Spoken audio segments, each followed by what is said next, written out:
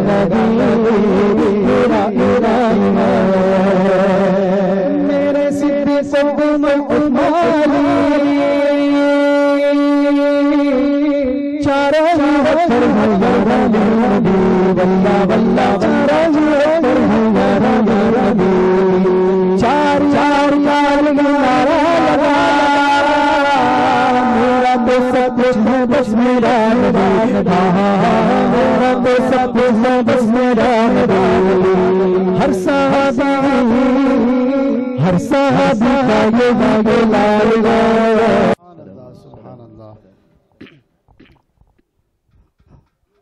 اب آئیے میں دعوت دوں گا ہمارے شہباز بھائی جان۔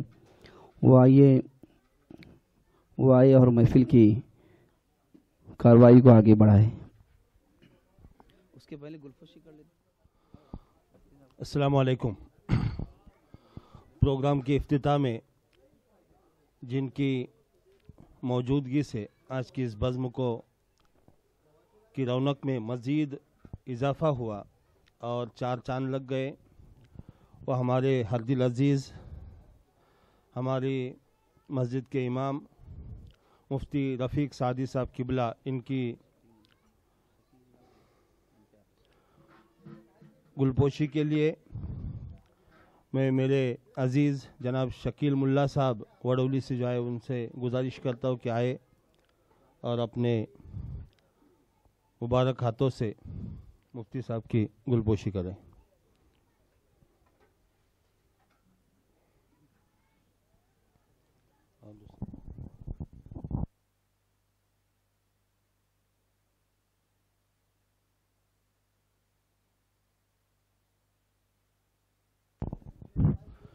حاجی شفیق جواری صاحب سے گزارش کروں گا کہ آج کی اس بزم کے جو ناتخواہ ہے، حاجی انور رضا صاحب آئے اور ان کی گلپوشی کریں۔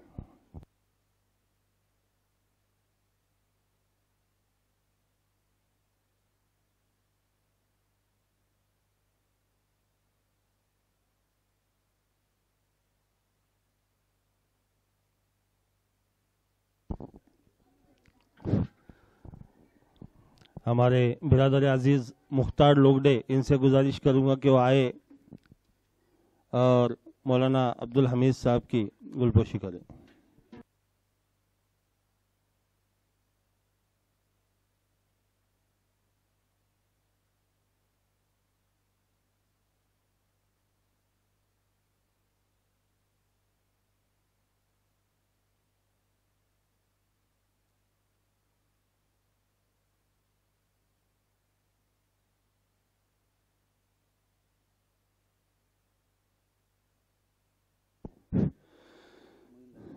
جناب مرتاز فنڈولے صاحب سے گزارش کروں گا کہ وہ آئے اور مولانا معین رضا کی گلپوشی کریں۔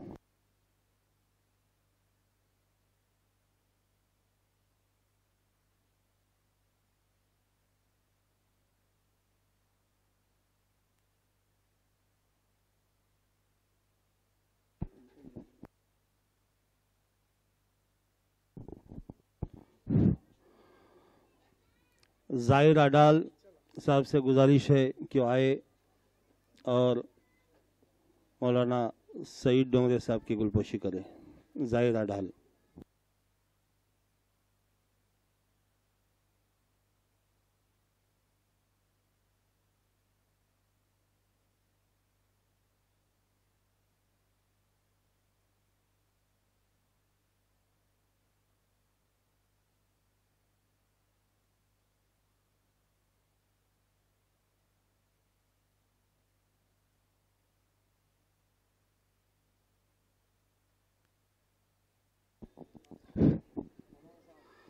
السلام علیکم ورحمۃ اللہ وبرکاتہ۔ آج کی اس پر مسرت بزم، جس کے نکھار میں مزید چار چاند لگ گئے، جن کے وجود مسعود کی برکت سے جو اسٹیج پر براجمان ہے، اور معزز مہمانان اور ہمارے مشفق اس بستی کے بزرگان، میرے عزیز دوستوں اور بھائیوں، جیسا کہ آپ سبھی حضرات جانتے ہیں، آج کے اس پروگرام کی غرض و غایت کو، مرحوم جناب اقبال لوگڈے صاحب،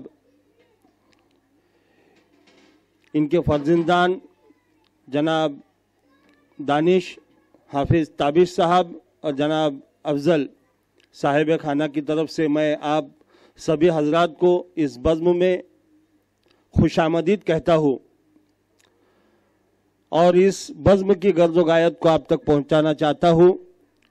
برادران عزیز، دانش، حافظ تابش اور افضل، ان کے چھوٹے بھائی فیض، ان کا عقد مسعود آج عمل میں آیا اور اس شادی کی خوشی میں آقا کریم صلی اللہ علیہ وسلم کی سنت کے مطابق دعوت ولیمہ کل انشاءاللہ اسی منڈپ میں ہونے جا رہا ہے۔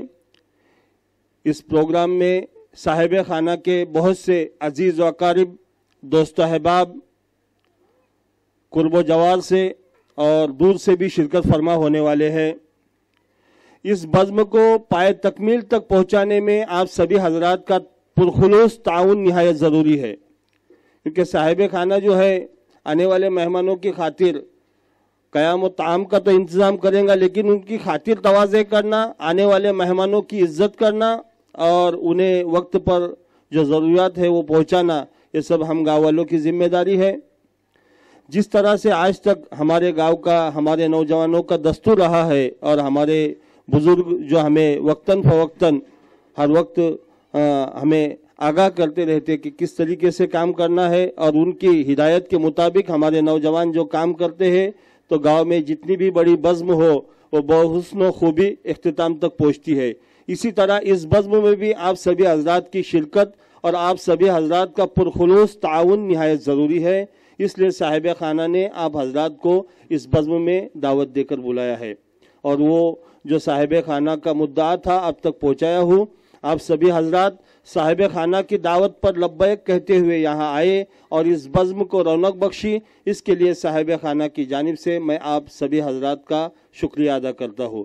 اور یہ نعت مبارکہ کی جو بزم ہے، یہ ایک آدھ گھنٹہ کم سے کم ابھی تک ایسے ہی رہے گی۔ آپ سبھی حضرات سے دل کی عمیق گہرائیوں سے میں آپ سے التجا کرتا ہوں کہ آپ سرکار کی نعت کی محفل میں حاضر رہیں۔ اور اس پرمسرت سعد کو ہاتھ سے نہ جانے دیں۔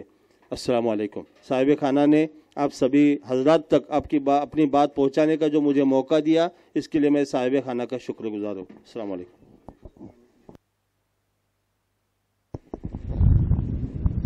یعنی